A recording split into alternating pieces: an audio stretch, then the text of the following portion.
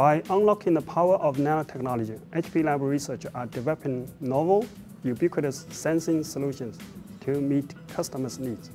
Today, I'm going to describe to you a prototype sensor system that developed at HP Labs that can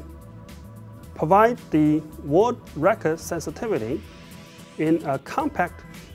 device system. The key technology is enabled by this nanostructure, what we now call nanofingers,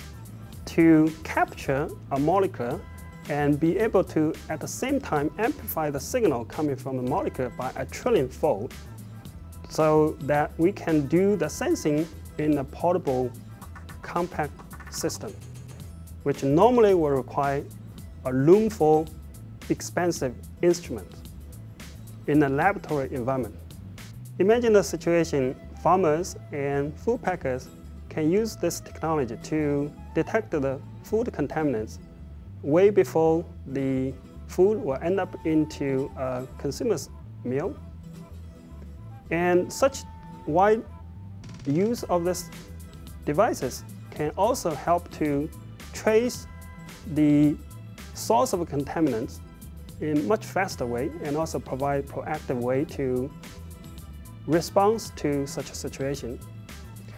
Such sensor system can find wide use in security, environmental safety, food monitoring, and disease diagnostic, as well as other industries that will require smell and taste like of sensing in real time, at low cost, and in a mobile compact system.